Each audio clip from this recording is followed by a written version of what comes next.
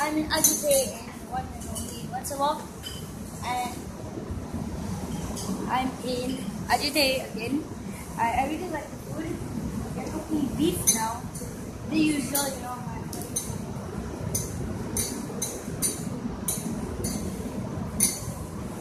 So now he's cooking the beef.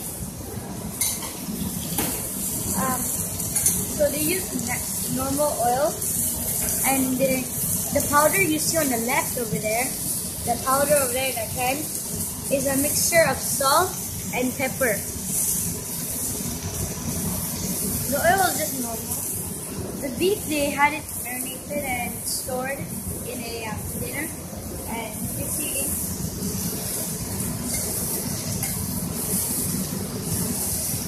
so that's it for today's video.